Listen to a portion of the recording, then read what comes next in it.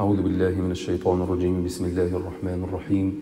الحمد لله رب العالمين والصلاة والسلام على سيدنا محمد وعلى آله وصحبه أجمعين.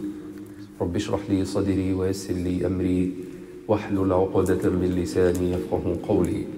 All praise is due to Allah, peace and blessings be upon the Prophet Muhammad sallallahu alayhi wa sallam. قال الله تعالى وقل لعبادي يقول التي هي أحسن. وقال سبحانه في سورة البقرة وقولوا للناس حسنا Allah subhanahu wa ta'ala commands us to always say which is best. And the Prophet sallallahu alayhi wa sallam in many of the hadith, he encouraged us and he commanded us to always be watchful of what we say. Because this is the way how we communicate with people. And we have mentioned before that subhanallah we, we worship Allah subhanahu wa ta'ala. We are eager to pray our salah and to fast during the month of Ramadan. But other people, when you deal with people, they don't actually care about what, how you worship and what your salah looks like and what your fasting is. It's all about how to communicate and how to deal with people. People expect from us to be, you know, dealing with them in a best way, in the best way, with husn al-akhlaq. Allah subhanahu wa ta'ala said about His Prophet sallallahu alayhi wa sallam, وَإِنَّكَ لَعَلَى خُلُقٍ عَظِيمٍ The Prophet sallallahu alayhi wa sallam encouraged us and he even tells that وَالْكَلِمَةُ الطَّيِّبَةُ صَدَقَةٌ A good word you say to people is considered as a charity.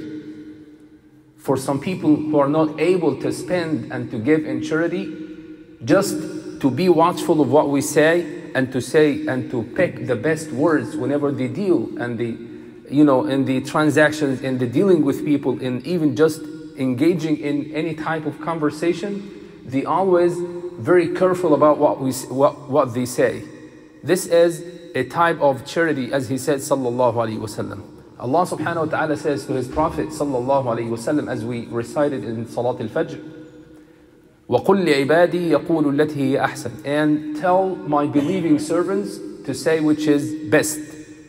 Not just good, which is best. To try to be always saying the best of the best to people. And deep in your heart, you are following the way of Rasulullah sallallahu alayhi wa sallam. فبما رحمة من الله لنت لهم ولو كنت فظا غليظ القلب لم فضوا من حولك. We learn how to be merciful from the seerah of Rasulullah sallallahu alaihi wasallam.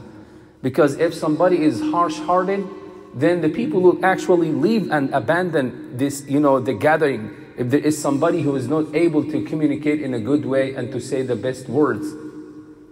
So the message is to always be watchful of what we say in a way that we always remember Allah subhanahu wa ta'ala, which is the best say, eh, the best thing ever we say, and then when it comes to dealing with people, as he says الله عليه وسلم in the other hadith, يعني ناقشنا الحديث منذ أيام وأتبع السيئة الحسنة تمحوها وخالق الناس بخلق حسن and deal with people with the good manners and the good ethics.